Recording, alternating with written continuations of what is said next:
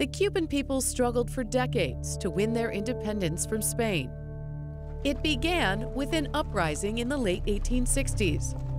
That war lasted a decade before a second small conflict hit the island. Spain put down the rebellion, and a truce held up for nearly 10 years. During that period of peace, American investments began spilling into the island, creating an economic alliance between the two. But the fight for independence wasn't over. In 1895, revolution again struck Cuba. The rebels couldn't hold their ground, and soon after, the Spaniards initiated a campaign of suppression on the island. Hundreds of thousands of Cubans died from starvation and disease. Soon, newspapers in the States criticized the atrocities executed by Spain and Cuba, garnering support for the small island. In January 1898, Washington sent a battleship, the USS Maine, to Havana to protect Americans on the island. Its visit, intended to be friendly, ended horribly. On the night of February 15, 1898, an explosion on the battleship Maine killed 260 officers on board.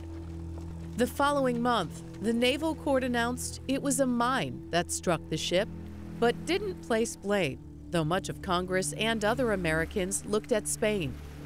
By April, the U.S. agreed to help Cuba liberate, demanding the Spanish withdraw from the island. Instead, Spain declared war on the states, and Congress declared the same, launching the Spanish American War in 1898, which was also the climax of Cuba's war for independence.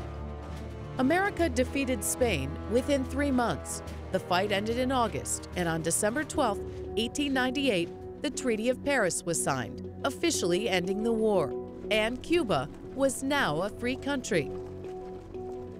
Nearly a century later, however, new findings suggested the Spanish American War was initiated on faulty grounds. In 1976, naval investigators concluded that the explosion that tore apart the USS Maine on February 15, 1898, wasn't caused by a mine or any act of sabotage. Instead, a fire that erupted inside the ship.